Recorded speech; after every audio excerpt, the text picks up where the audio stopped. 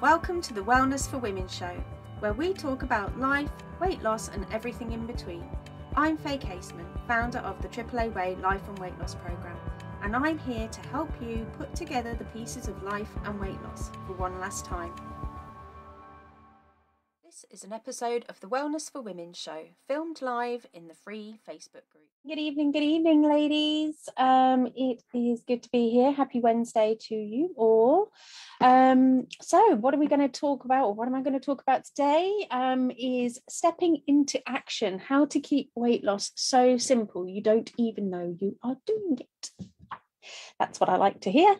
Uh, so let me know, as usual, if you are catching this on live or on replay. Drop me something in the chat. Let me know that you are here and you're watching it and uh, what your biggest takeaways are. Uh, join in throughout the video as well. Uh, whether you're watching live or replay, it doesn't matter. The comments will show at the appropriate time in the video.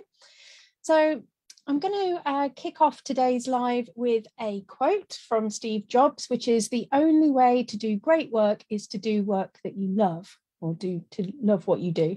Same thing, right? so last week I talked about the importance of gathering awareness about your life and weight loss. And I talked about how the key is the method that you choose. Um, so if I was talking about if you operate by someone else's rules, you'll never quite feel in alignment. And if you're out of alignment, it could impact on your long-term success. Um, so if you ask yourself just one question today, ask yourself, am I happy with what I am doing right now in my life and weight loss? And if the answer to that is yes, that is brilliant, ultimately.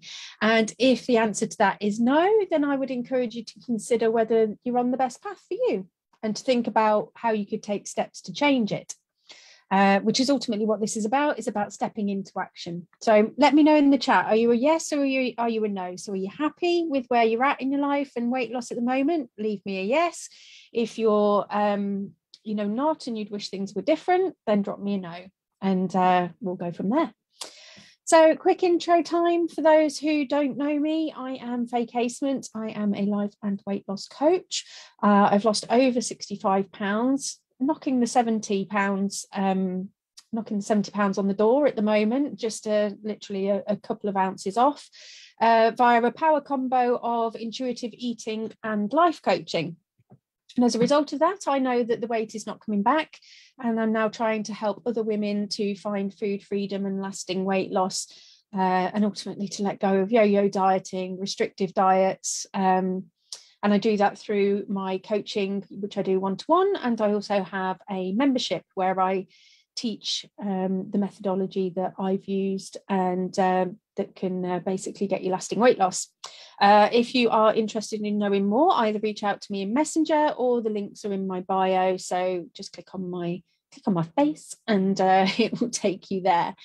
Uh, so I want to ask you, do you feel like you are having to hustle daily for your diet? Do you determine whether a day is good or bad based on what you've eaten that day? Do you ever feel so crappy about your day and or your progress that day that you eat your face off in the kitchen? And do you wish that weight loss was easier? If so i've got you. Ultimately the key to peaceful and sustainable weight loss is not just about what you eat. It's about when where how and why as we discussed last week so, by gathering awareness, and especially if you're making your commitment super realistic, you will gather some wins and start to build up some trust with yourself again. That's an important part of that process. And that, you know, because ultimately that trust has been eroded over the years because of the failed dieting and the on and off dieting. And so it's critical if you want lasting weight loss that you need to learn to trust yourself again, trust yourself around food, your decision making. Um, so that you can stay the course basically. Um, and it's all about being able to get to the point where you are showing up for yourself daily doing what you said that you're going to do. And then when you step into action those actions become easier because you've got that trust that you will do what you say that you're going to do. So you may have already started you know if you've been looking to gather some awareness um, you perhaps already got a list of things that come up for you personally um, and this ultimately is where you then go into problem solving mode um, and look to get, you know, for your weight loss path that's unique to you, your life and your relationship with food. And that's again, that's the the critical thing here. You know, if you follow other people's paths, it's not necessarily this is where the alignment comes in. It's got to be something that is important to it's got to be important to you it's got to fit your life it's got to fit in with whatever it is that you're struggling with in the weight loss so for lasting weight loss, I said it's about stepping into action with super uber doable process goals. Um, making small changes daily is what will help you to build healthier habits that can be sustained long term. And as they're so, you know, if you make them so small, you're not even going to notice that you're doing them. So the other great thing in building this trust with yourself is that it also then knocks into other life areas. So you can start to apply the same methodology that I teach pretty much anywhere in life. So if that sounds good to you, give me a thumbs up in the chat. Uh, that would be awesome. So the summary really is daily small changes equals big, big long-term wins um, and the devil is in the process. So, what is a process goal? So, a process goal is a goal that you can complete as opposed to an outcome goal, which are goals that you achieve. So, for example, your outcome goal might be, or an outcome goal would be to lose weight. Or again, as dietists, we might say, I want to lose two pounds this week, or something like that. Um, but that isn't necessarily within your control but a process goal is that i'm going to how i'm going to get there. So it might be that i want to eat some more fruit and vegetables or i'm going to start eating fruit with my breakfast or something like that. So process goals are key to weight loss because they they're what help you to stay on track and make progress towards your ultimate goals. And the process is that one thing that you truly can be in control of. Um, and i'll say that again because it's really important you are the one in control of the process but you have to love the process and it needs to be something so it needs to be something simple and doable and something that fits your life. So as a dieter, you are likely consumed by the numbers, the number of points or sins you have, the number of calories, the number on the scale. Um, but for true lasting weight loss, these honestly don't matter. Um, in the end, I should say, you know, it takes a little while to change the mindset, but ultimately you could take them all away and still lose weight just by focusing on the process and improving the process daily and gathering up these little wins. And that's ultimately all I've done in order to lose um, my 70 pounds. And this is where the freedom comes in because you start to trust and grow and, and trust and grow that self judgment again, your own judgment and dis, you know judgment over the decisions uh, or trust in the decisions again rather than what you're being told, I should say.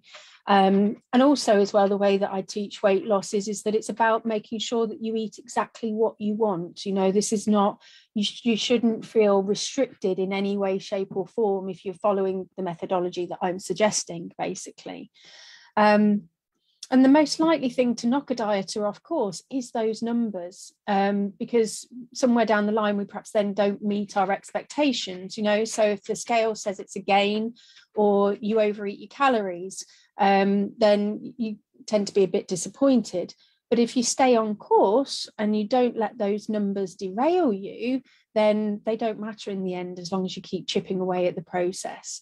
And ultimately, I've been, um, I'm obviously in a number of weight loss groups and I'm on Instagram and I'm seeing the, um, the difficulties that some that, that people go through with losing weight through traditional methods and it's breaking my heart a little bit if i'm honest. I mean i've just seen somebody in a group where they were saying that they just they oh, oh my goodness i've been so bad today. I've eaten such and such rice and uh, such and such a half a can of root beer. And i'm just like wow. You know the, the the sheer torment that that person has gone through from eating some food. Um, and food is not the enemy, ladies. This is the thing. Um, food is not the enemies. The, the the the the the what of the food isn't necessarily always um, like I say, what you eat is not necessarily always critical. That said, obviously building up healthy, healthier habits, you know, looking to incorporate healthier foods, of course, that's going to help. Um, and you know, will will help with your weight loss. Um, but you can if all you're going to do is look to try and eat what you perceive to be healthier foods um, and restrict restrict so again another thing that i see is people restricting themselves effectively all all week and not eating what they want and then resorting to a cheat meal. But you've got to say is that sustainable to feel crappy for six days of the week and only enjoy one meal of the week or something like that you know? So you know there's basically there's another way um, and that is by looking at your actions um, getting that awareness like i discussed last week and stepping into action and in the in the AAA way, it's all about making peace with the scale. So the scale doesn't know how hard you've worked that week, and it doesn't know how desperately you want to show uh, it to show a different number. Um, now I cover this more in my program, but I just want everybody to remember that you are so much more than a number on the scale. Um, and there is so much more to weight loss um, than just food, the food that you eat and and the weight that you want to lose. It's about your life your mind your body um, far more they're far more important than the sins or calories that you've had in a in a day or a week. You know when you've lost your weight you won't remember that you had this bad week or anything like that so look at the process look at what you're doing and what you're changing and how you're growing within that journey as that's where the real power comes from the change the change that you go through um, and the, and and everything that you learn and the strength that you grow um, in going through that weight loss journey is what is going to be the most powerful transformation for you. The the losing the weight, yeah, not going to lie, it's great. I've, I feel great that I've lost 70 pounds. My health is better. Um, my uh, you know my confidence is better but my confidence is also better because of the journey and how i know that i've damn well showed up for myself in that process and that I've never and that I've not given up and that I've worked on that daily to get where I am. Um, so once you lean into the process and um, trust the process and commit to never giving up on the process, that's when you find lasting weight loss and food freedom because you're gonna, it's about building it in a way that it turns into your living your life you know? So not living it through restriction but living it with um you know joy and intention effectively so, some tips on, I'll get off my pedestal now, uh, tips on how to make some small manageable changes in your life and weight loss. So, it's important here to consider what changes you can make in your life and weight loss. So, for example, if you are somebody who has a tendency to eat after a long day at work, uh, that's certainly something that I used to find was one of my problem areas then it's about looking at what happens at work, not just about what you're eating, because doesn't matter, matter what you're eating in the evening. If you're overeating because you've had a bad day at work um, then it, again you're still overeating basically.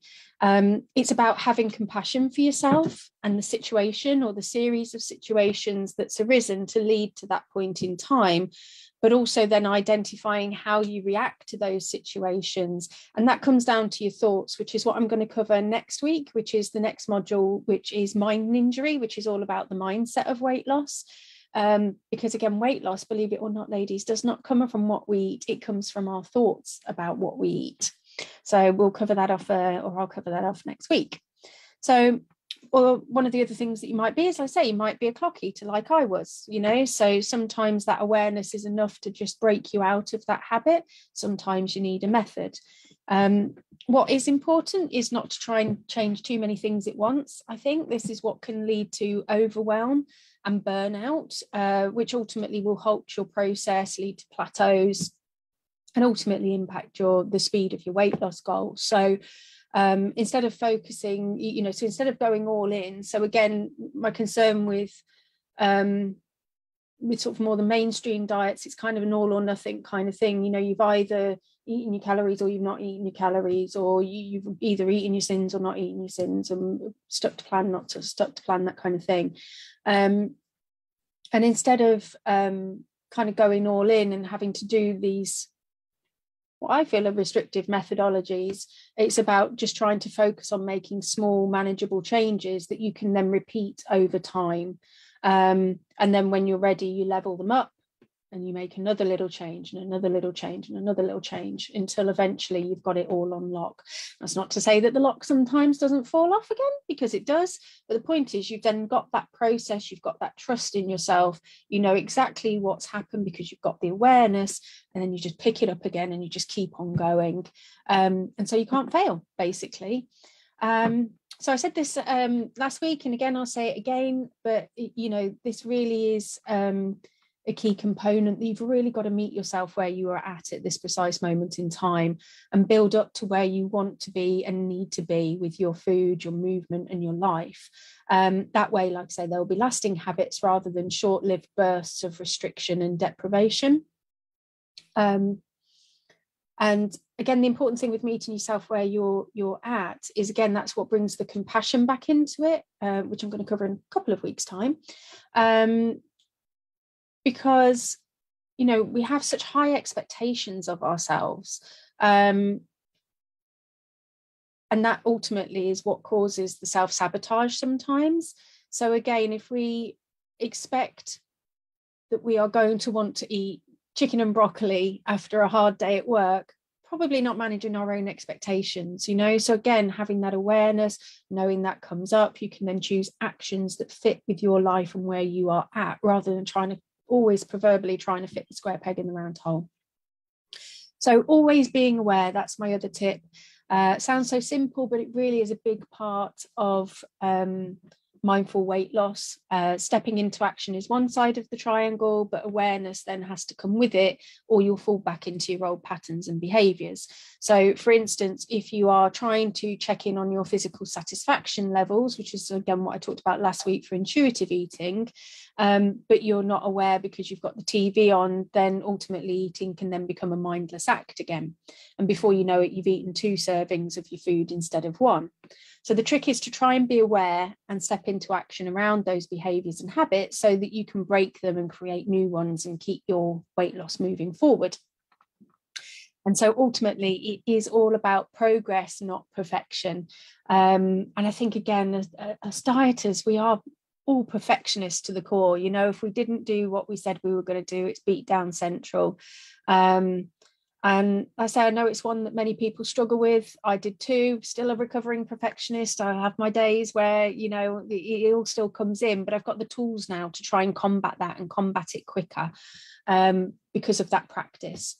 Um, temptation, I say, after years of beating yourself up as a dieter is strong, but the art of getting what you need done and taking action daily and, and and picking yourself up with kindness after those small step up, slip ups and um, missteps along the way is what's key.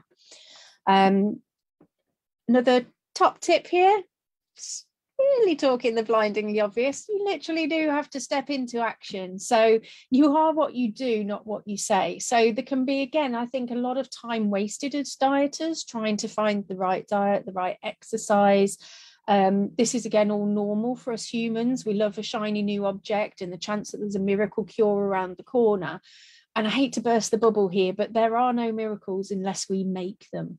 You know, so I saw this in a in the previous program that I was in, where a lot of time would be spent watching and listening to content, but then it wasn't really being applied. And the key is to focus on you and what you can do today. So, how can you take action and start making small changes today? Uh, well, this comes down to again what I said last week, really. So, setting those realistic commitments and asking yourself questions like, how can I prioritize my weight loss today? Um, or how can I prioritize my well being or my wellness, however you want to phrase it, whatever you're focusing on. And then another question that's good is, you know, what is one small action I can take towards lasting weight loss today? Another one is what am I prepared to try today? Because again, sometimes we get stuck doing the same old thing. Or how can I make my day easier? Because again, this shouldn't be purgatory, ladies. This should be something that you are living and breathing and trying to enjoy the process as much as possible.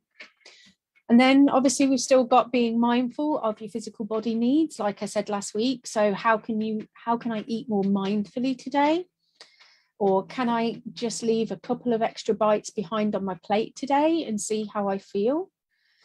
And the other thing is then to conduct the curious and kind assessment that again I talked about last week. So there's no point in beating yourself up over something you cannot change, but you can learn from it with compassion and kindness.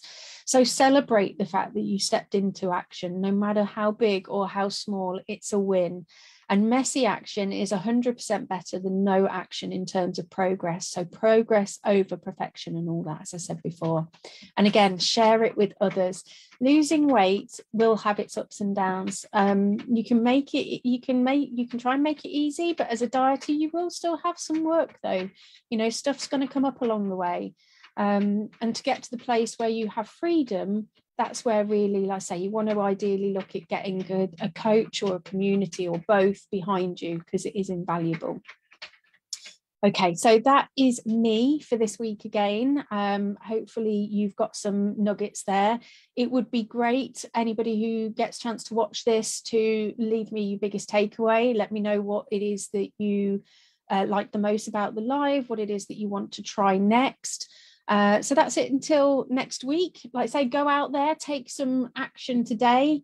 Look to make it so simple and doable that you can continually do it con- consistently. Um, and let me know how you get on. Thanks for listening. And don't forget, if you want to boost your life and weight loss the AAA way, check out the relevant links for today's show in the description. Speak soon.